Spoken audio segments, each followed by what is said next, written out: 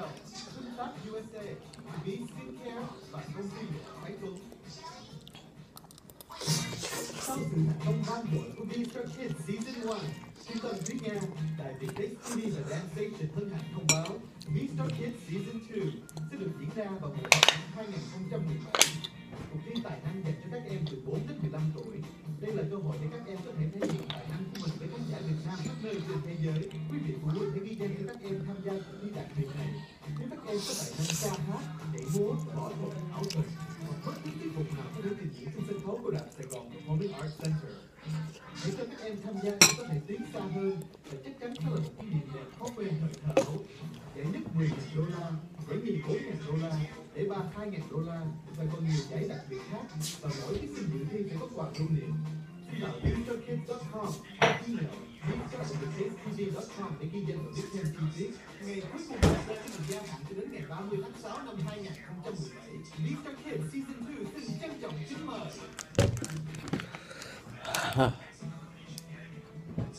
Houston, Texas là thành phố của đồng dân từ người Việt đứng thứ ba trên toàn nước Mỹ. Việt TV tự hào là một trong những đài truyền hình Việt ngữ được yêu thích nhất tại Houston. Việt TV luôn cập nhật các chương trình như tin tức, phóng sự, hội thoại, chương trình và các chương trình giải trí mỗi ngày. Đặc biệt nhất là Việt TV đài duy nhất được trình chiếu các chương trình ca nhạc và hài kịch của trung tâm tiếng Nga. Xin cảm ơn sự thương yêu ủng hộ của tất cả khán giả và khách hàng trong hơn 5 năm vừa qua. Việt TV sẽ tiếp tục cố gắng sản xuất thêm thật nhiều chương trình hay và bổ ích để phục vụ quý đồng hương cũng như khán giả khắp mọi nơi trên toàn nước Mỹ. Mọi chi tiết về quảng cáo cũng như tài trợ bảo trợ cho Vietpay TV xin hãy gọi cho số điện thoại 713 988 3335.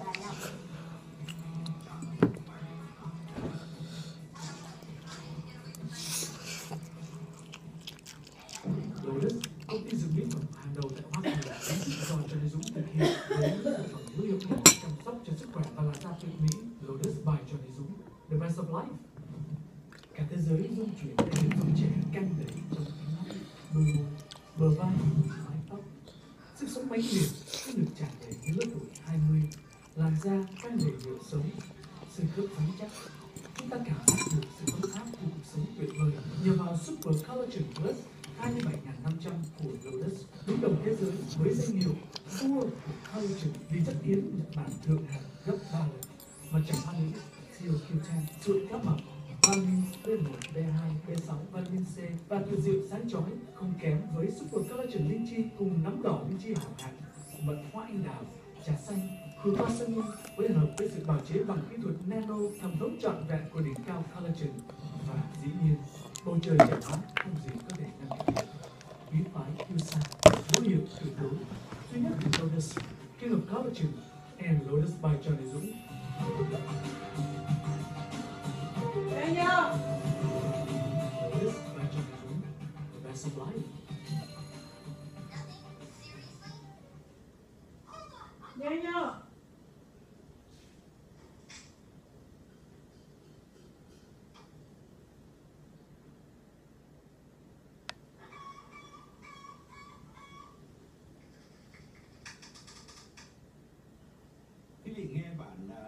Chiều là em của trúc phương.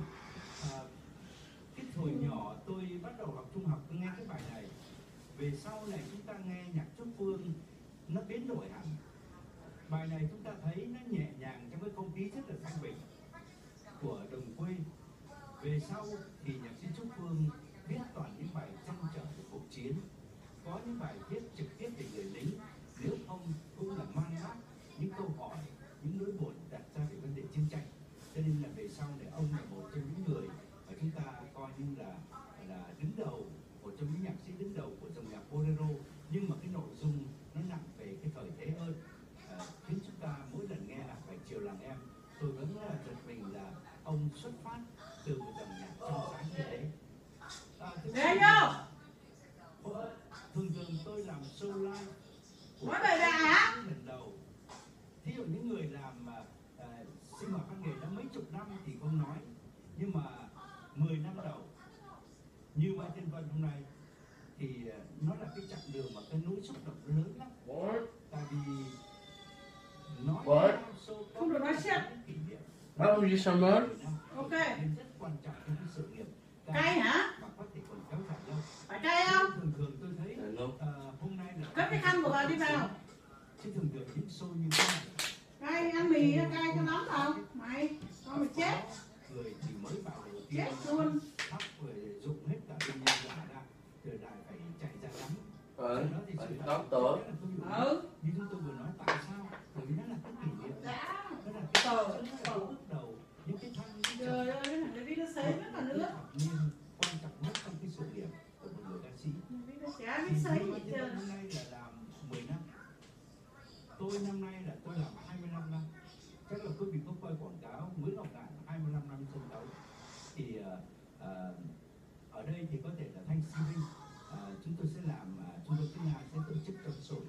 số live tôi chứ không thâu hình nhưng mà tôi đã làm thử ba số ở các nơi từ đầu tháng riêng bây giờ.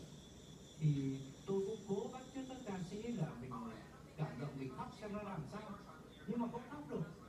Có lẽ là bây giờ tôi nó khô hết nước mắt rồi sao đó. Thành thử ra tôi nhớ lại cái chặng đường này và sự thật ra tôi còn xúc động hơn là nghệ sĩ bởi vì à, uh, tôi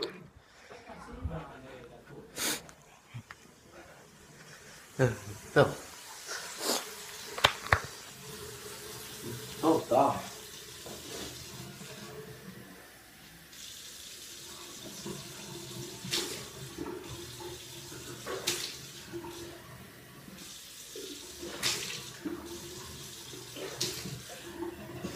아.